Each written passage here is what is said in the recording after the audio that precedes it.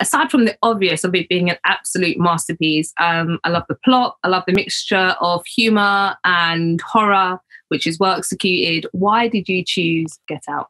Yeah, well, I'll first start by agreeing completely with you. Like, I don't think I appreciated how much of a base it is a masterpiece of a Yeah. film. Like, Mhm. I think the first time I watched it, I was just like, cool, this is like what the hype is about. And then you go back and watch it and go, how did they do this?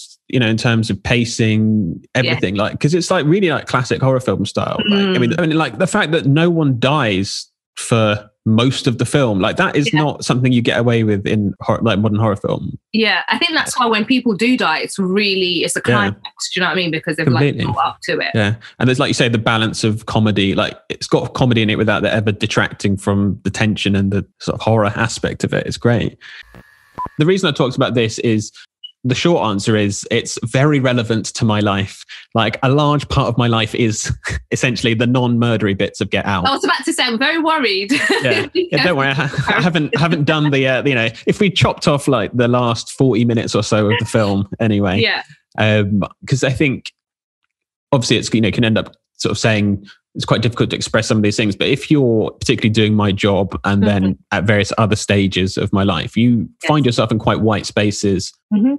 A huge amount of the time, Mhm. and that is probably for multiple quite complicated reasons. But it's almost like those situations beget further situations that place you in those Oh, yeah. situations to Yeah. the point where particularly if you're in medicine like and particularly if you're doing academic medicine you're Yeah. surrounded by white people all Mm. the time yeah, um, and obviously i should point out obviously this i'm second generation in this because my dad uh, is married you know my mum's white yeah. uh, so obviously that's further complicates that I was going to say, have they watched this movie? And I love how Lakeith Stanfield only had like a small bit in that film, but it's Mhm. probably one of the most iconic moments, you know, when his like nose is bleeding and stuff. And he really Mhm. stands out and probably put him on the map for the rest of us to kind of see. Big, big fan of him. Oh, I'm a massive fan of him until you Google him and realize he's 29. Regardless of anything I may have done in my life, I'm still not sort of successful enough not to be bitter when I see someone 29 years old. Oh, you know, achieved- yeah, exactly. He's achieved what he. I mean, you know, you're a doctor. I feel like don't don't put yourself down. Come on, like Yeah, that's. I'm, I'm over the hill now. I'm 30. I'm 30. I'm, I shouldn't say how old I am, but I'm, I'm, I'm over 30. the worst thing as well about this, again, I shouldn't admit this, is that, you know, when Lakeith's, when you see him later on wearing that, Yes. but it's like, you know, it's like, I would wear that outfit. Like, I love that. I feel like there was a few people that were like, "Hmm, that's Yeah, he's even even as a sort of brainwashed uh and what regards to what message he's trying to say it's just like i am considering wearing a straw bow tie at the next social engagement i go to if that's my sellout credentials.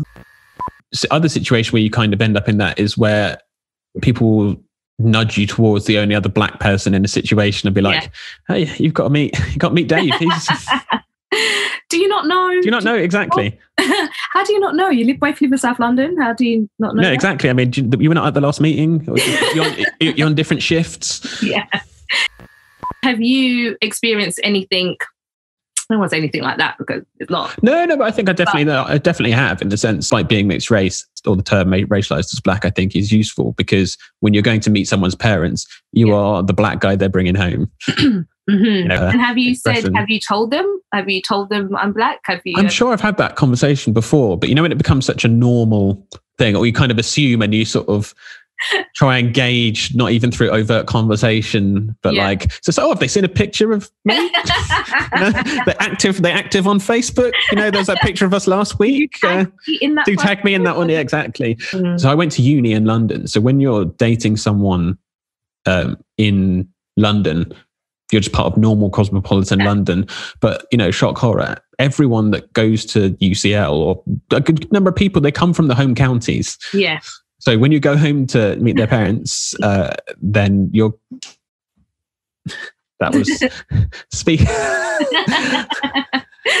um, now, if almost on cue, that would be speak of the devil. Uh, my girlfriend just uh, tried wandered in.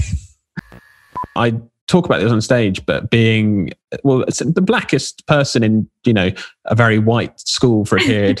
Um, like you know, you come with a lot of pressure. It's like, right, this is the new, the new, the new recruit from Catford. Uh, the football, you know, the, the the the football team just rubbing their hands. They're like, he's going to be so sick. yeah, and I am not that guy. Like I am bad at football. They're like, why aren't you like Ian Wright? Like, aren't you? No, exactly. Like, yeah, what, no. what happened to you? yeah.